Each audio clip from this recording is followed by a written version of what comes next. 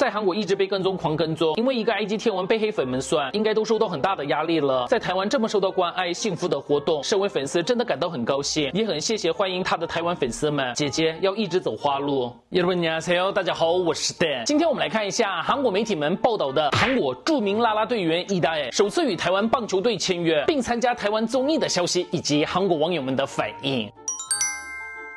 四月十四号，在台湾职业棒球赛场上，选手们正在进行着比赛。这时，突然出现的一位啦啦队队员引起了球迷们的关注。他就是来自韩国的伊达黑，他也是韩国史上第一位走出国门来到海外进行应援的啦啦队员。在今年三月份，他与台湾最热门的球队乐天桃园队正式签约，以啦啦队 Laku Tengers 进行活动，并于四月十四号在主场首次亮相。在比赛前的加油战中，伊达也不仅率先进入场内，在啦啦队表演跳舞时，也担任 C 位。表现得非常出色，因为以太的人气爆棚，球队的以太周边也卖得非常火爆。然后在五月三号，以太在自己的 IG 线动上发布了很多照片跟影片，并留言首次出席了综艺节目，大家辛苦了，请多多期待节目的播出。不久后，重新回到台湾的以太，马上与同事 Lakuten Girls 的啦啦队队员一起出演了节目《娱乐百分百》的录制，这是他第一次在台湾出演综艺节目，所以令粉丝们都非常期待。而以太在台湾的人气，也在他的个人 YouTube 频道就能看得出出来。四月三十号，他上传在台湾的 Vlog 后，下面的热评几乎全是中文，甚至最近也拍摄了台湾饮料的广告。哇哦，台湾的棒球应援跟我们国家是差不多的感觉啊！以太本来在韩国也是以舞蹈非常出名，他真的是很用心的跳。台湾的啦啦队比韩国要跳更可爱的舞蹈，但是因为种类比韩国多很多，所以练起来很困难。听说乐天啦啦队直接就称为是 Lakuten Girls，有着 idol 级的人气，在应援舞台前面也有很多大型摄影机，在韩国一直被跟踪，狂跟踪，因为一个 IG 天文被黑粉们算。应该都受到很大的压力了。在台湾这么受到关爱、幸福的活动，身为粉丝真的感到很高兴，也很谢谢欢迎他的台湾粉丝们。姐姐要一直走花路。